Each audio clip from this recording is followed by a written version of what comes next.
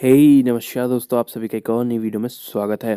तो फाइनली इस साल का लास्ट हमको वीकली अपडेट आ गया है जो कि है nine point seven point twelve point twenty eight तो ये इस साल का आखिरी अपडेट है और नेक्स्ट अपडेट हमको टू थाउज़ेंड एटीन में मिलेगा। तो यहाँ पे बात कर लें तो थोड़े बहुत फिक्सेस हमको यहाँ पे देखने को मिल जाते हैं और लॉग स्क्रीन में हमको थोड़ा बहुत ऑप्टिमाइजेशन देखने को मिल जाता है।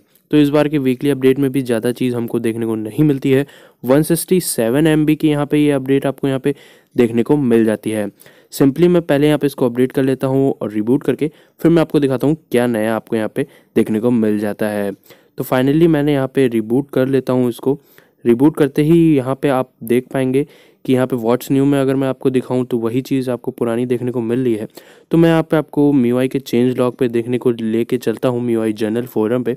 तो यहाँ पे सबसे पहले आप देखेंगे कि मी सिक्स और मी मैक्स टू के लिए ये सस्पेंड हो गई है।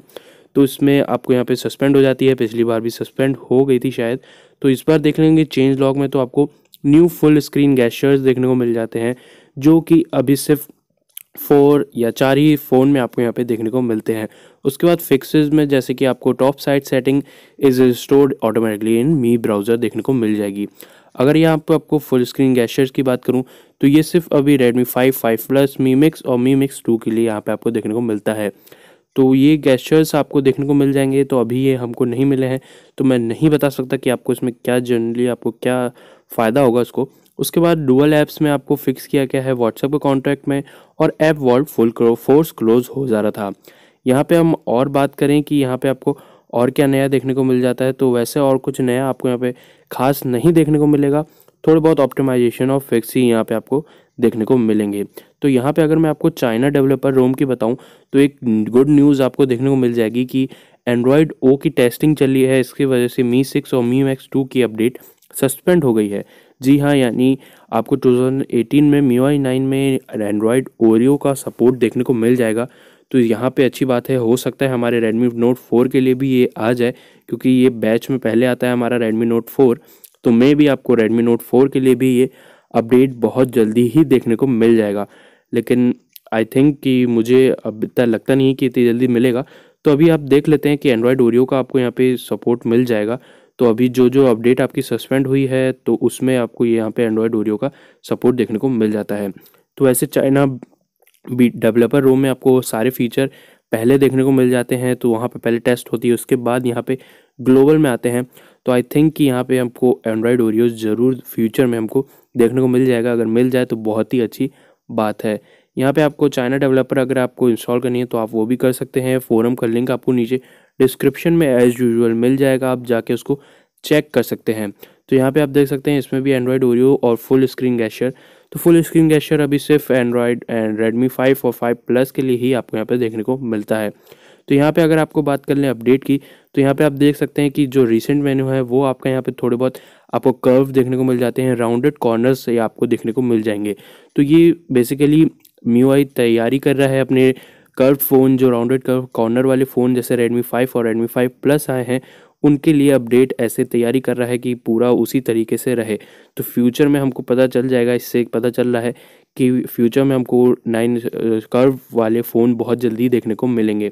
और यहाँ पे स्प्लिट स्क्रीन की बात करें तो अब आपको यहाँ पे नोटिफिकेशन आ जाता है कि जो भी आपका ऐप सपोर्ट करता है, नहीं करता है तो उसको ईजिली अब आपको यहाँ पे पूरा अच्छा सा बड़ा सा आपको यहाँ पे नोटिफिकेशन देने लगता है। उसके बाद दूसरी अपडेट की बात करें तो आप अगर एक स्क्रीन में आप डाल लेते हैं, उसके बाद नीचे आपको पूरे आपको दिखाने लगेगा कि कौन कौन सा ऐप आपका यहाँ पे सपोर्ट कर रहा है और कौन कौन सा ऐप आपको यहाँ पे सपोर्ट नहीं कर रहा है। तो ये भी एक अच्छी चीज़ है कि आपको नोटिफिकेशन पहले ही यहाँ पे ऊपर बार में दिखने, देखने को मिल जाएगा कि आपको कौन ऐप सपोर्ट करेगा, कौन नहीं। हालाँकि सारे ऐप आपको सपोर्ट कर सकते हैं, इसके लिए आपको डेवलपर ऑप्शन में जाके अंदर उसको फोर्स डिस्प्ले स्क्रीन में करना पड़ेगा तो आपके सारे ऐप डेवलपर में यूज़ होने लगेंगे। उसके बाद बात करें तो एक और अपडेट हमको देखने को मिलती है सिक्योरिटी में। यहाँ पे आप देख पाएँगे कि सेकंड स्पेस में भी थोड़े बहुत फिक्स किए गए हैं। इसमें आपको कंफर्मेशन माँगता है, आपको सेकंड स्पेस अनेबल करने से पहले। उसके बाद आपको यहाँ पे एक गेमिंग स्पीड बूस्ट का भी ऑप्शन देखने को मिल जाएगा। तो ये भी एक नया ऑप्शन आपको यहाँ पे देखने को मिलता है, जिसकी मदद से आप अपने गेमिंग एक्सपीरियंस को ऑप्टिमाइज कर सकते हैं। तो यहाँ पे आप पहले देख सकते हैं optimize performance optimize connection speed और डीएनडी मोड भी आपको यहाँ पे देखने को मिल जाएगा। तो एक काफ़ी अच्छी बात है कि आपको यहाँ पे गेमिंग के लिए म्यूआई ने नया सा अपना गेमिंग स्पीड बूस्टर यहाँ पे अनेबल कर दिया है। तो उसकी मदद से अगर आप गेमर हैं तो बहुत ही अच्छे से यहाँ पे आप गेमिंग कर पाएँगे। तो ये एक अच्छी बात है कि उसमें आपको देखने को मिल जाता है। मैंने भी इसको यूज़ नहीं किया है तो मैं इसके लिए आपको ज़्यादा नहीं जानकारी दे सकता कि कितना अच्छा इसका परफॉर्मेंस देखने को मिल जाता है। और यहाँ बात करें ऐप वॉल्ट की तो यहाँ पर भी थोड़े बहुत फिक्स किए गए हैं। बहुत से फ़ोन में ये फोर्स क्लोज हो जा रहा था ऐप वॉल्ट ऐप वॉल्ट के साथ बहुत सारी प्रॉब्लम रहती है यहाँ पे तो उसको भी थोड़ा फिक्स किया गया है। यहाँ पे आप देख सकते हैं थोड़ा कस्टमाइजेशन भी यहाँ पे इसको फिक्स करके यहाँ पे दिखाया गया है। इसके अलावा हालाँकि और कोई नया चीज़ यहाँ पे आपको देखने को नहीं मिलता है और हमको यहाँ पे एक देखने को मिलता है कि ब्राउज़र में अब जैसे ही आप कोई भी साइट खोलते हैं अपनी टॉप साइट जैसे आप मैंने फेसबुक खोली और गलती से आपका ब्राउज़र फोर्स क्लोज या बंद हो जाता है तो हम पहले देखते थे वो दोबारा से हमको वही खोलना पड़ता था। लेकिन इस बार आप देखेंगे कि डायरेक्टली वही साइट जो आपकी क्लोज़ हो गई थी गलती से, वही फिर से खुल जाती है। तो ये हमको सेम चीज़ जैसे यूसी ब्राउज़र या क्रोम अगर आप यूज़ करते हैं तो उसमें आपको देखने को मिलती थी तो उसका भी सपोर्ट यहाँ पे दे दिया गया है। तो ब्राउज़र भी धीरे धीरे इम्प्रूव हो रहा है क्योंकि बहुत चीज़ें हैं जो अभी ब्राउज़र में हमको नहीं देखने को मिलती है। जैसे कि आपको डेस्कटॉप मोड वो भी अंदर से आपको जाके अनेबल करना पड़ता है। तो उसको भी यहाँ पे फिक्स किया गया है, लेकिन अभी भी हमको डेस्कटॉप मोड नहीं देखने को मिलता है।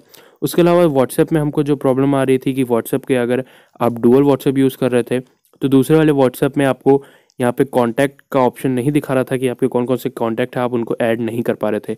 तो उनको भी यहाँ पे फिक्स किया गया है।